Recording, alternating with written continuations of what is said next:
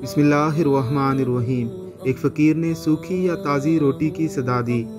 घर के मालिक ने कहा कि तू पागल है क्या? यहाँ रोटी कहाँ से आई? तो साहिल ने कहा कि रोटी नहीं तो आटा ही दे दो। तो घर के मालिक ने कहा कि यहाँ आटा चक्की नहीं, जो आटा दें। साहिल ने कहा कि कुछ घी ही दे दो।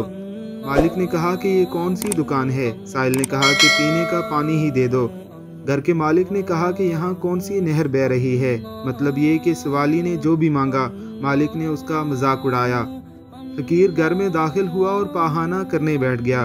घर मालिक ने चीखना शुरू किया और कहने लगा कि बेवकूफ़ ये क्या कर रहा है? मेरे घर को ख़राब कर रहा है। तो साहिल ने कहा कि जब इस घर में ज़िंदगी का कोई ज़रिया ही नहीं तो ऐसी वीरान जगह इसी काबिल है कि इसमें पाखाना किया जाए। रोमी रहमल्ला फरमाते हैं कि अगर तू भी कमालत से हाली है तो तेरी मिसाल भी उस घर जैसी है। अल्लाह रबुल्ज़त की ज़ात हमें बरा हुआ घर यानी कमालत और अखलाक हसना से मुजैन फरमाए। आमीन सुमामीन